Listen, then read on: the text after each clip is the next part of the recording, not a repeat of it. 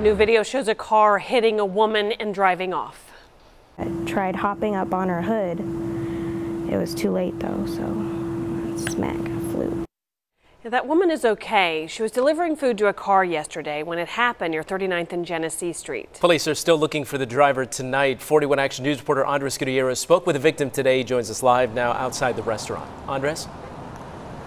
Yeah, Mike, the victim is out of the hospital tonight. She's worked here at Tiki Tacos for eight months. It was towards the end of her shift when the accident happened. We want to warn you that some of the video you're about to watch is graphic. I'm doing better than yesterday. Yesterday was terrible. Early Sunday morning, Kaitlynn Conner was making the last curbside delivery of her shift at Tiki Taco on 39th Street. As she's about to hand over the food, I seen the car and then I seen him swerving or moving his wheel towards me. So I uh, tried hopping up on her hood. It was too late though, so smack, flew. Kansas City police say the impact threw Conner 8 to 10 feet from where she was standing. A witness told 41 Action News the restaurant's car prevented Conner from going even further. As soon as I realized what was happening, I, I tried moving my, my feet and my my toes, my my fingers just to make sure everything was okay. The driver who Conner believes was under the influence kept going west on 39th Street.